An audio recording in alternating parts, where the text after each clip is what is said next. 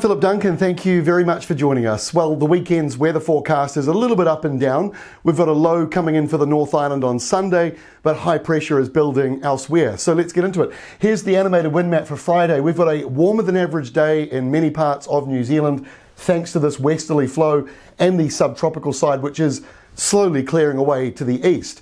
Behind it, we've got a little bit of low pressure and a colder change. It's this southerly in here that is about to move in and it's going to drop temperatures nationwide by the end of the weekend. So, Saturday, that colder airflow starts to move into the South Island.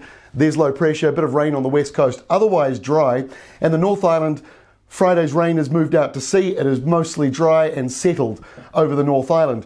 But rain is building out on the Tasman. This is where that southerly, that colder southerly is coming through.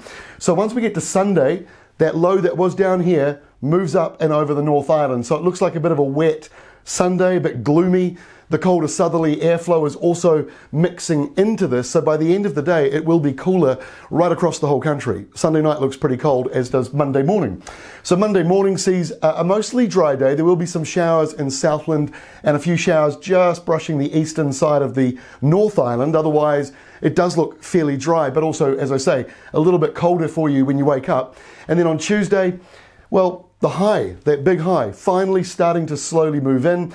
Temperatures change a wee bit, it warms up a little bit. The mornings and nights won't, but the daytime temperatures should just start to lift up a little bit. There's a light easterly around northern New Zealand as well, which will bring in just a few showers. Otherwise, things are looking pretty dry. And our final map is for Wednesday, and again, high pressure pushing itself in.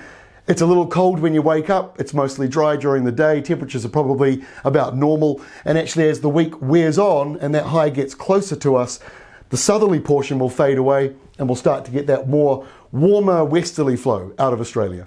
That's all from me. Have a great weekend. We'll see you again on Monday.